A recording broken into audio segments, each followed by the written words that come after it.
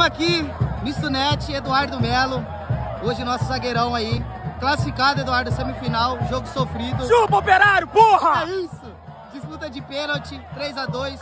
Voltamos a ganhar no mata-mata depois de 5 anos. E quero que você fale aí um pouco do jogo, a torcida que tá ali. Solta a voz, papai. Cara, primeiro agradecer a Deus aí pela oportunidade de estar vestindo essa camisa, né? Glorificar ele com uma vitória dessa. Né? Muitos e muitos tabus aí, a gente tá chegando agora Grosso, mas a gente sabe dos tabus que estavam aí para ser derrubado e derrubamos hoje aqui. Glória a Deus por isso. E feito estávamos conversando entre o grupo, cara. Assim, era o mínimo que a gente tinha para entregar aqui. Esse grupo é um grupo trabalhador, cara, um grupo de homens. Infelizmente a gente sabe que futebol, as coisas às vezes não fluem dentro de campo, mas era o mínimo que a gente tinha para chegar era essa semifinal.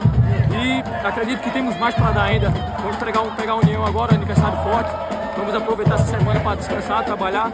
Se Deus quiser, vamos fazer um grande jogo na primeira semifinal aí. E essa torcida aí? Cara, só agradecer, né, mano? Semana retrasada, estávamos lá em primavera, eles estavam lá presentes com a gente, o tempo todo gritando.